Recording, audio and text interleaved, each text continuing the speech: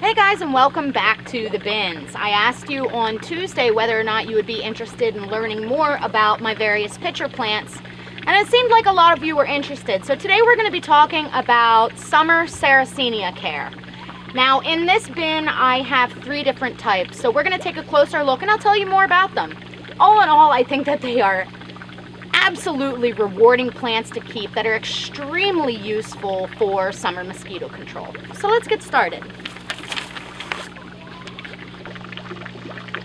So as you guys know, I overwintered one of my pitcher plants, and the one that's in frame is the one I'm talking about. Now this is one that I purchased last year at my um, local garden center, and it had three varieties, two of which are over, two of which survived overwintering. Here we have Sarracenia psittacina, or the parrot pitcher plant. And as you can see, it's just starting to develop its pitchers. Now I gave it a winter dormancy period by putting it in a very cold windowsill and cutting back most of the growth. The other one that is in there is this guy, and it's just starting to come back, and that one will get a nice wavy leaf appearance that's very dark red with some green veining, and that's called the Sarracenia purpurea. Um, this one originally had a trumpet style in there as well, but it doesn't. Now, while we're talking about the parrot type, we'll look at this one as well, because this is a nice mature plant that I purchased this spring. Now, there are about, I think, eight known specific species of North American pitcher plant, all of which are beautiful and relatively easy to grow.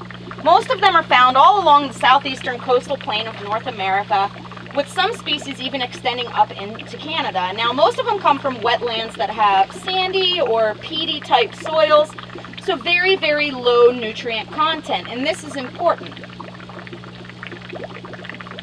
Now, the sad part of the story with these guys, and why I think they're so important to work with, is that their habitats are being critically destroyed through putting in housing development, through putting in housing developments, um, shopping centers, as well as from wood production. And one of the things that used to really preserve these guys' natural range was natural fires that would clear the underbrush and forest in order to allow them to have open areas to spread. That's not happening either. They come from a relatively warm temperate climate. Now in the winter in the wild, a lot of these species do encounter hard frosts and occasional freezes, um, where I live, which is zone, I think I'm 6A, um, I have to protect them from the prolonged hard freezes we have here. In an ideal world, I would put them in a garage where they were covered, so they would get nice and cold and go dormant, but not freeze solid. Now, what's interesting about these guys, as I mentioned, um, is that they are insect predators. They're carnivorous plants. And this particular species these ones that are shaped like this are especially fascinating to me because they have this little tiny opening and the color and a nectar that they give off attracts bugs to go in there. And then once the bugs are in, there's these sort of transparent areas on the plant that allow sun to get through that makes the, the bug climb further down. And if the, the bug tries to turn around and get back out, there's actually needle-like hairs inside the pitcher that will impale it making it fall to the bottom where um, digestive enzymes and acids will, will give the plant the source of its nutrients. Now, if you remember, I said that these guys come from pretty much substrates that have no nutritional quality, and they've adapted in order to process these bugs to get the nutrition that they need, not only to grow and produce pitchers, but also to flower in the spring and, and germinate and send off seeds. Now, these guys here, are the trumpet style pitchers, is this one, are called Sarracenia rubra. And they're different. They have this more open appearance to their to their pitcher and the bugs get onto the lip of that and then fall down into the pitcher where they essentially drown and are digested.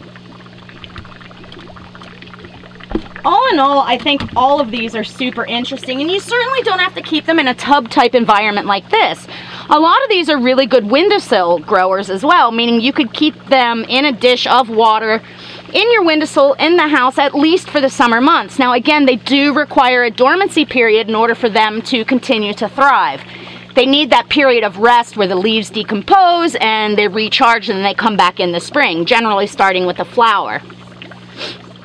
Now, the other thing with these guys is that, that you could easily do is set up a big pot, a ceramic pot, on your deck, patio, yard, whatever, and just keep it super moist using a peat mix substrate and just watering it really heavily. They'll thrive like that and they could probably overwinter like that in a wide range of climates.